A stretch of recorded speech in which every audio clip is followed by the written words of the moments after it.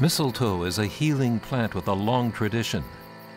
Ancient myths describe its magical properties. Celtic Druids especially sought out rare oak tree mistletoe, which they revered as a cure-all.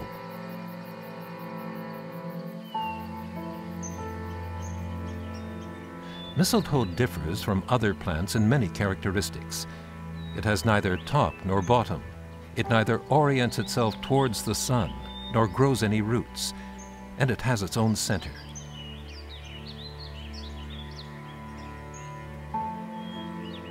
Its fruit is produced in winter, not during the warm months, meaning that it behaves contrary to the seasons.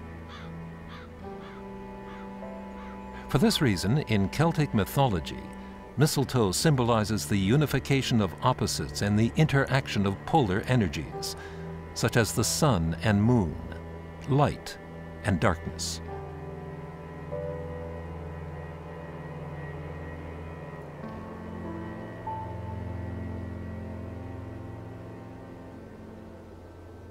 Vom Misteln haben wir eigentlich als Kinder jetzt nicht viel mitbekommen. As children, we didn't hear much about mistletoe. In the past, it was always cut down right away because it was considered to be a parasite that destroyed the tree and had to be removed as soon as possible. Mein Vater hat einfach eine Landwirtschaft betrieben. My father had to feed the family by farming as a supplement. That meant that nature had to always produce as much as possible. Und es war einmal oben, gewesen, das Telefon kam. One evening, my father called me and said that he had been diagnosed with prostate cancer. Und für mich war einfach gerade, ich weiß noch, einfach Krebs. At that time, I strongly believed that cancer was a red flag and thought my father was going to die soon.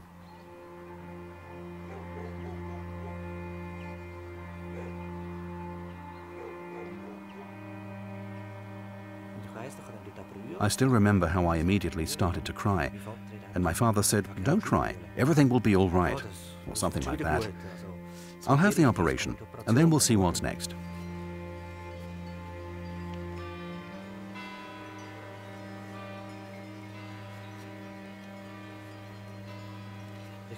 I believe my father had a very strong feeling that he can influence nature.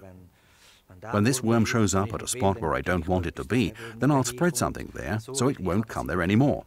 My attitude was rather that everything is connected. If this worm appears at this spot, it means something. This often led to conflicts between us and the feeling that we didn't understand each other at all. At that time, seen from the outside, we had a rather distant, cold relationship. Aber die Operation ist sehr gut verlaufen und The operation went very well, and afterwards it was a question of radiotherapy or whether there might be other options. Among these, we came across mistletoe preparations. My father mentioned to the doctor that he had heard of mistletoe, Iscador, and wanted to know if he could try it. Äh, Using mistletoe to treat tumors goes back to Rudolf Steiner, the founder of anthroposophy. He pointed out the healing effects of the toxic substances of mistletoe with white berries and recommended it for treating cancer. Physician Dr. Ita Wegman pursued Steiner's suggestions and developed the first mistletoe preparation, Iscar, together with the pharmacist Adolf Hauser. In 1935, Dr. Wegman founded the Association for Cancer Research in order to further analyze the potential of mistletoe in treating cancer. Eventually, the knowledge of Dr. Wegman and Rudolf Steiner formed the basis for the development of the medicinal Iscador, the oldest and best researched mistletoe preparation, which has been produced for more than 60 years at the Hiscia Institute in Switzerland.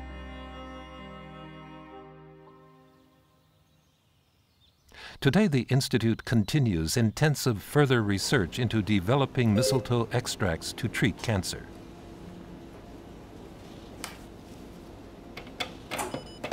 Scientists at the Hiscia Institute not only confirmed the plant's polar characteristics, but also the counteractive way that its toxic substances work. In this sense, the integration of opposites plays an important role in the production of Iscador.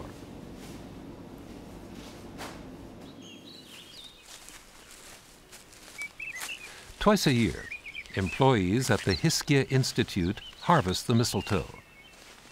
Once in summer and once in winter, because the concentration of the healing toxic substances varies with the seasons.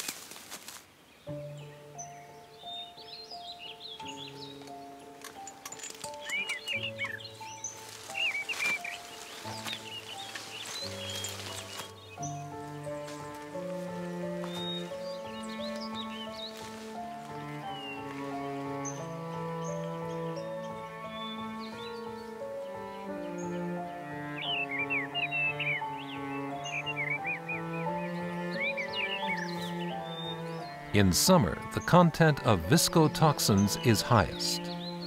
Viscotoxins are small protein molecules and are closely related to the venom of the cobra.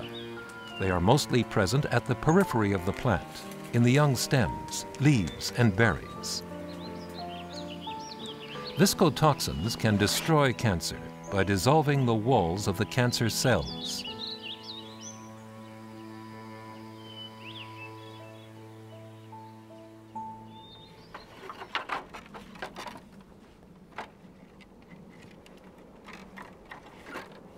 In winter, the concentration of mistletoe lectins is highest, the second important agent of the healing plant. Lectins mainly occur in the old stems and at the center of the mistletoe bush. Lectins inhibit the growth of the cancer cells and cause cell aggregates to congeal.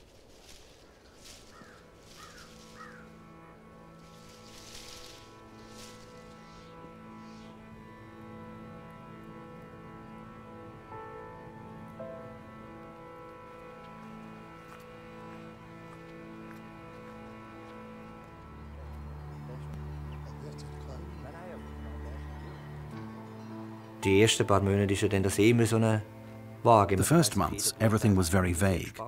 I remember being very tense about the blood test results, always wanting to know, have you got the results? How do things look now? I had great hope in the mistletoe preparation Iscador. However, a certain fear was still there.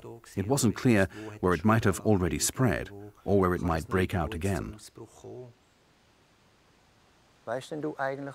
Do you actually know what Iscador is made of? From the leaves or from the berries? I assume it's from the berries, but I can't tell you for sure. Or from the leaves, since the berries don't last long and fall off.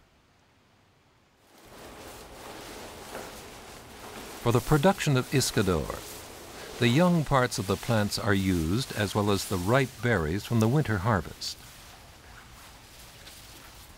In addition to lectins and viscotoxins, mistletoe contains many other different agents.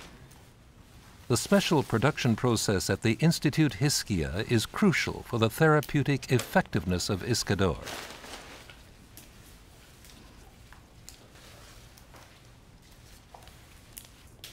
After the plants are harvested, the berries are pulverized. The remaining parts of the plant are crushed in a mill.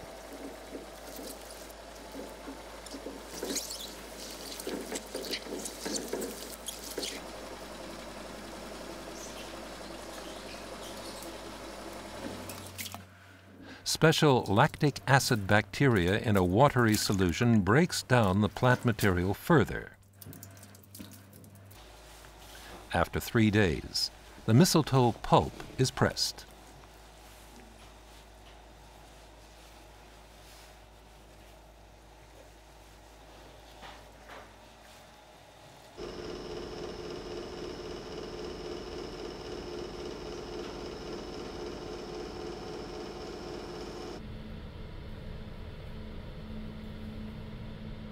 Summer and winter juices are mixed in a complex process by a machine especially designed for this purpose, to create the actual Iscador concentrate.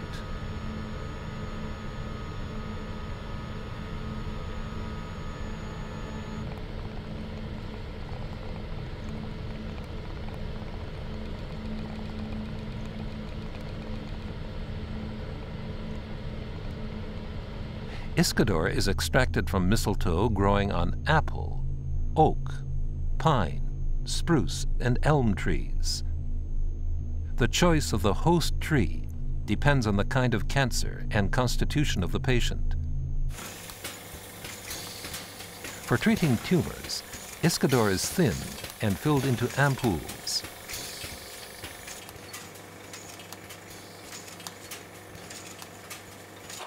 Iscador has to be individually adjusted to each patient by a doctor. After this introductory phase, patients normally inject the medication themselves. The treatment with Iscador usually lasts at least five, but also sometimes 10 or even 20 years. Der beste Zeitpunkt für den Beginn der Iscador-Therapie ist The best time to begin the Iscador therapy is already before surgery. When this isn't possible, then as soon as possible afterwards, because when other oncological therapies follow, their side effects can be significant.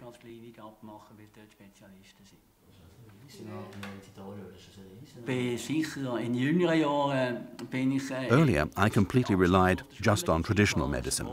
It's also a question of experience.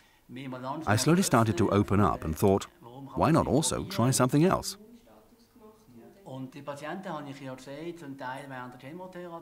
I have seen a number of patients at times during chemotherapy and could observe one to one how they benefited from an Iscador therapy that was administered in parallel with chemotherapy, and the patients were therefore able to better endure the chemo.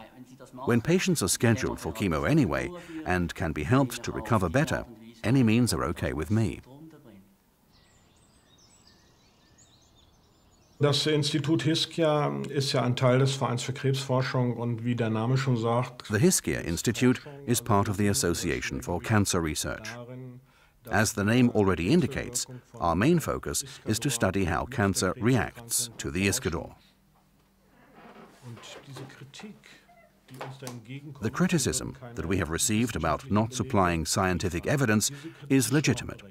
This certainly relates to the fact that the mistletoe therapy is very old, and at the beginning, the kind of scientific evidence expected today didn't yet exist. Diese wissenschaftlichen Belege, die man heute fordert, noch gar nicht gab. Aber wir drücken uns da nicht an dem Punkt. But we aren't evading this point, and we have to show how Iscador works in clinical studies as they are required today. Müssen wir zeigen, Iscador wirkt. And we're working on this. Oh ja. Jetzt geht ich ganz nach vielleicht. So ist gut. Aber gibt es noch einen.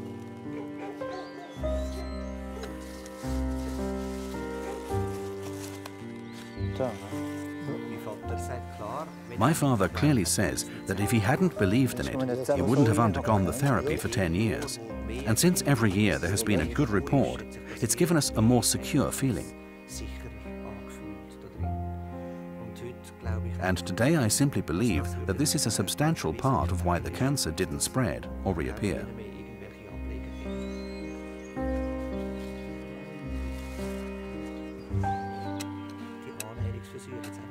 This new attitude was also a result of our learning to accept each other.